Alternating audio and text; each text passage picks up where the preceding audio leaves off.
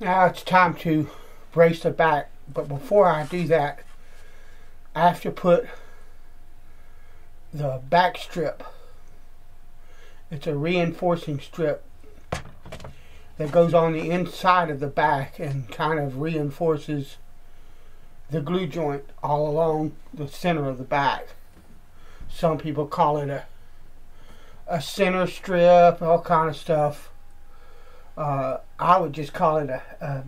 Some people call it a back graft. That's what I would call it, or the back reinforcement. But whatever you call it, that's the purpose of it. And this uh, brace, or this is basically, it's not a brace. It's just support for that seam, but it doesn't have to be radiused because it's very flexible. And when you build the back, when you put the back onto the guitar, uh, that whole back from heel to tail will arch. And now what I'm doing, these are uh, driveway reflector uh, rods they're fiberglass rods. I bought them at Lowe's and cut them. I have a shelf up above the bench that I'm working on. And so I just cut these so they were are a little bit longer than the distance from this instrument to that shelf. And I'm using I'm just wedging these in and using this kind of like a poor man's go bar deck. If you don't know what a go bar deck is, it's it's a uh, a rig pretty much that does this, and you can you use uh, radius dishes. There, I'm cleaning up, but you use radius dishes that are the same radius as the back or the top, whichever it is that you're bracing, and then you can brace the whole top or the whole back all in one shot instead of having to do it in stages with clamps the way I have done this one. But I don't use radius dishes. Uh, I don't have very much room to store things like that. I'd have to have two two foot by two foot radius dishes and the the uh, go bar deck uh, and all of that. And it's just I don't have the room for it. So I don't use them. But for something like this, this works as a, a makeshift go bar deck that allows me to glue this whole thing up all at once without having to worry about having clamps reach long enough and deep enough to reach to the center of the instrument's back.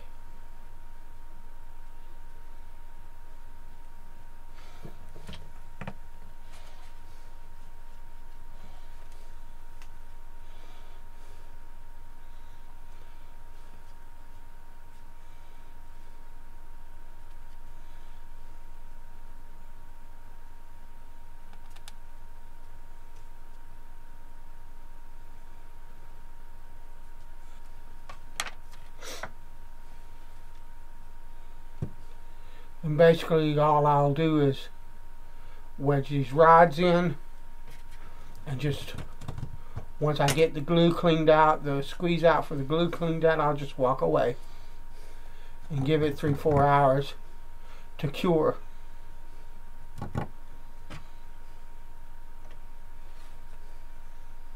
And that's a piece of poplar rod there.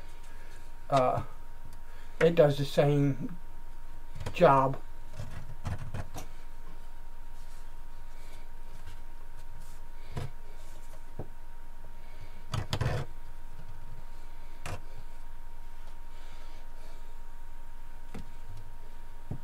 and they're a bit fiddly because the shelf up above that I'm wedging them into is a bit flexible. So now what I'm going to do is I'm going to take the first brace that I'm going to glue and I'm going to use it to mark a section on this back graft that's the same width as that brace and I'll take a chisel and take that out, that section out, notch it out so that I can glue the back braces onto this guitar. Just take a razor saw and cut it out and then I'll chisel it that little section free and I'll do this for all four of the back braces for this guitar.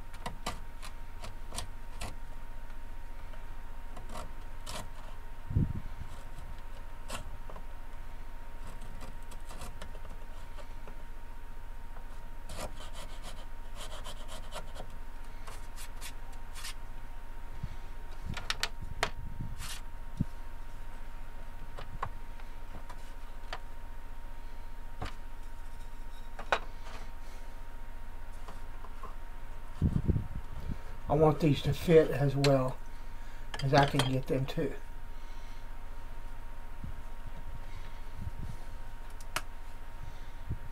Because at least two of them will be visible through the sound hole.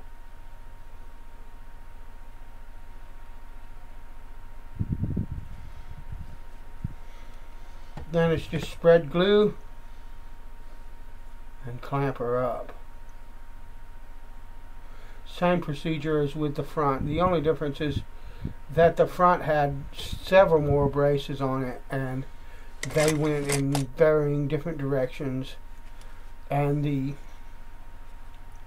arch for the front is much flatter.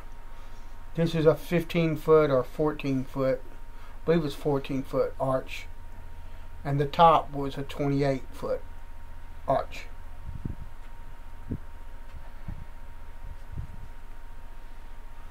And if you don't know what that means, it means that the arch that's planed into this brace is a section of a 14 foot circle. If I were to lay this brace, the curved section, if I were to draw a 14 foot circle and lay this curved section of bracing up against it, it would match a section of that 14 foot circle that is the same length as this brace is.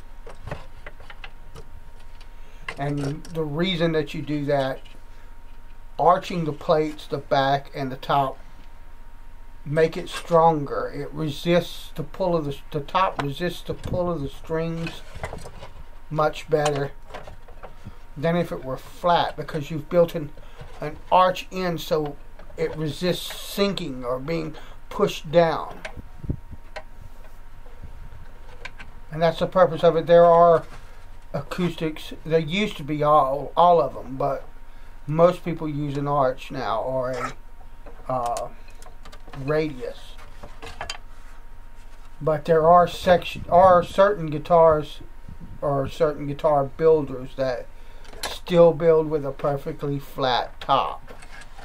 Uh, from what I remember reading, they are supposed to be a little bit more bass heavy, but all of that is going to be subjective, and it's going to the amount of bass that's in a guitar is going to vary, not just in what kind of arch is, is or isn't on it, but every little detail that uh, you could possibly think of will probably affect the way that it sounds in some way. So, you know, that when people talk like that, in my opinion, they're talking in really, really wide generalities. And so you have to take it with a grain of salt. When you saw me bracing and carving the braces for the top, uh, I uh, mentioned that I was trying to err on the side of a of a heavier bass because I knew that the instrument was smaller and had a shallower box volume than an instrument of this size would normally have. But again, that's a generality. You know, you generally do this or you generally do this or that to uh, enhance or tighten up the bass or whatever you want to do. Uh, but,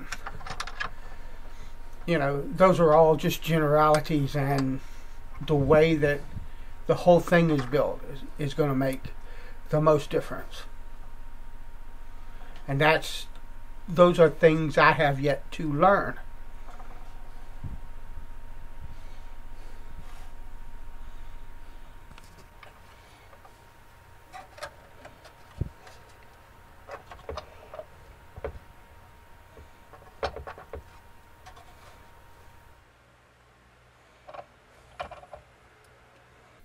And there it is, braced up